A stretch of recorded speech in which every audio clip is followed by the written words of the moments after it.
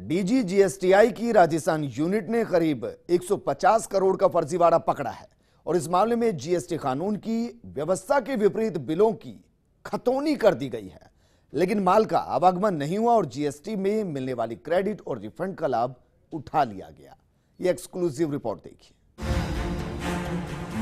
GST मामलों की विशेष जाँच एजेंसी डीजीजीएसटीआई की राजस्थान इकाई ने 150 करोड़ का फर्जीवाड़ा पकड़ा है। बताया जा रहा है कुछ लोगों ने गिरोह बनाकर अन्य कामों के लिए दिए गए पहचान दस्तावेजों से साधारण वित्तीय क्षमता वाले लोगों के नाम से कंपनियाँ बना ली। वहीं जयपुर के मानसरोवर के एक सीए ने तो मृतक व्यक्ति के दस्तावेजों से ही फर्जी कंपनी बना डाली। इसके बाद जीएसटी में पंजीयन कराकर फर्जी बिल पर कमीशन का धंधा शुरू हुआ। सूत्रों के मुताबिक इस गिरोह के लोग तीन ऐसी सात फ़ीसदी तक कमीशन लेते और जीएसटी का पैसा नकद में रिफंड कर देते। इसके बाद फर्जी बिल का उपयोग करने वाला व्यक्ति या कंपनी बिल में दिखाई गई जीएसटी राशि का दावा करता और क्रेडिट लेकर रिफंड तक उठा लेता। अब तक हुई जाँच में सामने आया है कि इस गिरोह ने करीब 150 करोड़ रूपए के बिल जारी किए और करीब 25 करोड़ की कर चोरी को अंजाम दे डाला। सूत्रों के मुताबिक डीजीजीएसटीआई ने इस मामले में जयपुर के मानसरोवर, वैशाली नगर और चौमू में शुक्रवार को छापे मारे हैं। इसके अलावा हरियाणा, उत्तर प्रदेश, दिल्ली और मध्य प्रदेश में भी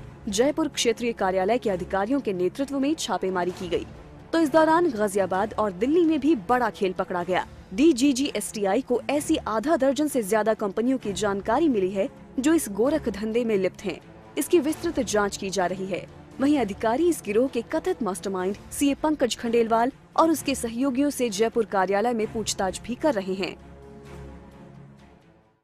जीएसटी कानून लागू होने के बाद करदाताओं पर शिकंजा कसने के लिए डीजी जीएसटीआई ने देश में पहली बड़ी कार्रवाई राजस्थान से शुरू की है। बताया जाता है कि 150 करोड़ के आसपास के फर्जी बिलों का फर्जीवाड़ा डीजी जीएसटीआई ने पकड़ा है। इस मामले में डीजी जीएसटीआई कुछ आरोपियों से पूछताछ भी कर रही है, जिसमें एक व्यक्ति जयपुर का बताया जाता है। देखने वाली बात यह है कि इस पूरे मामले में आखिर कितनी राजस्व चोरी का खुलासा हो पाता है।